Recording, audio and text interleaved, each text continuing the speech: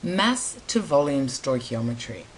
If you know the mass or the concentration and volume of a substance, you're able to work out the number of mole of that substance. You then use the mole relationship using your balanced chemical equation to calculate the mole of the unknown substance and from there you can calculate the mass or the concentration or volume of the unknown depending on what you're looking for. Let's look at an example. What mass of zinc will be required to completely react with 50 ml of hydrochloric acid of concentration 2.00 molar? Step one is to write your balanced chemical equation.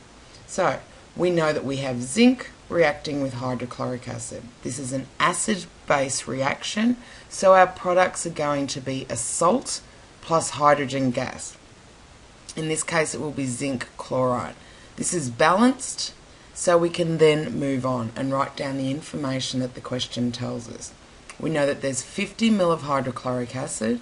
Remember, your volume always has to be in litres. And the concentration is 2.00 molar.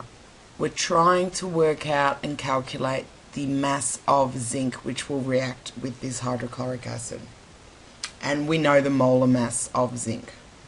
So knowing V and knowing C, we're able to calculate the number of mole using N equals C times V. So N equals 2 times 0.05, which equals 0.1 mole. We now use the 0.1 mole and look at the mole ratio between the hydrochloric acid and the zinc. 2 mole of hydrochloric acid reacts with 1 mole of zinc. So number of mole of zinc will either unknown over known times the number of mole of hydrochloric acid. So we've got 1 over 2 times 0.1 mole, which we got from here, and that equals 0.050 mole. I always like to look at this point to check.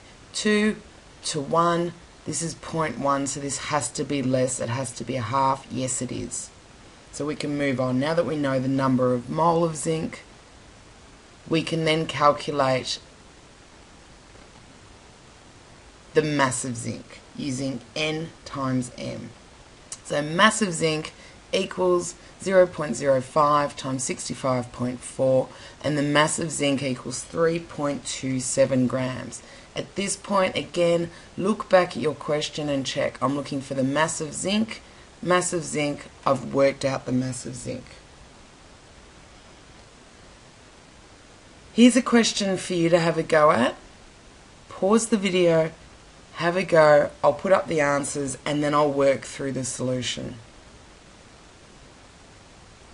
So the answer to A, the mass of magnesium oxide equals 2.0 grams and the mass of magnesium chloride in B will equal 4.8 grams.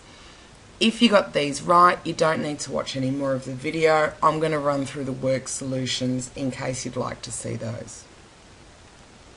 So here's our question, and the first thing we need to do is look at the important information. We're given our chemical equation, so that bit's done for us. So let's have a look. I've got 2.00 molar of hydrochloric acid with a volume of 50 ml. There's my concentration and there's my volume of my known substance. Unknown is my magnesium oxide. And I'm trying to calculate the number of mole of magnesium oxide. I know the molar mass of magnesium oxide. I also know the molar mass of hydrochloric acid by looking at the periodic table. So I write those down.